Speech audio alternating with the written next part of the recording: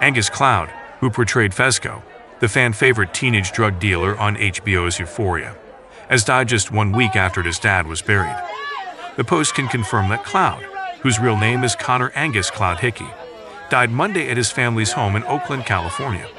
He was 25. His family confirmed the star's passing in a statement Monday to the Post. It is with the heaviest heart that we had to say goodbye to an incredible human today.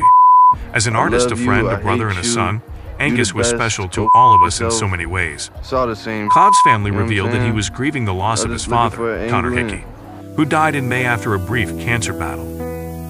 Last week, he buried his father and intensely struggled with this loss. The only comfort we have is knowing Angus is now reunited with his dad, who was his best friend, the family's statement read.